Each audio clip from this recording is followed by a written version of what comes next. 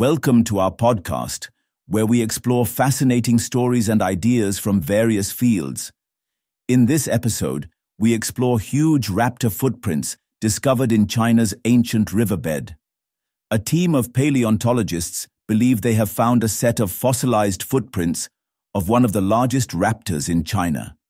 The set of five fossilized footprints of dinosaur species is as big as half of the length of a school bus the footprints were discovered at a dinosaur trackway in southeastern China.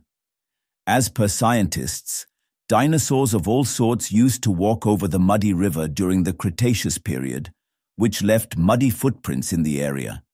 Some footprints are even preserved for tens of millions of years.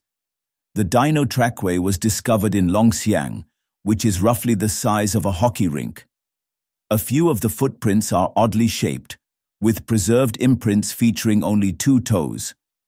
Raptors or predatory birds are usually small in size and typically called Deinonychosaurs.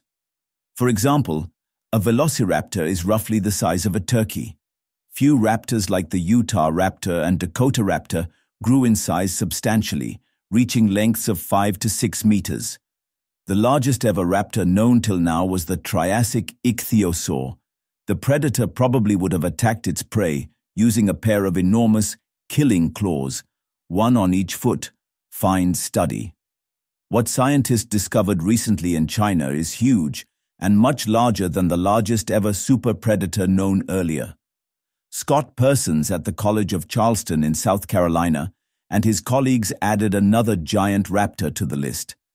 They named it Fujianipus, and they say it lived in East Asia about 96 million years ago. Not much is known about Fujianipus, as Persons and his colleagues are still working on the parts of its skeleton.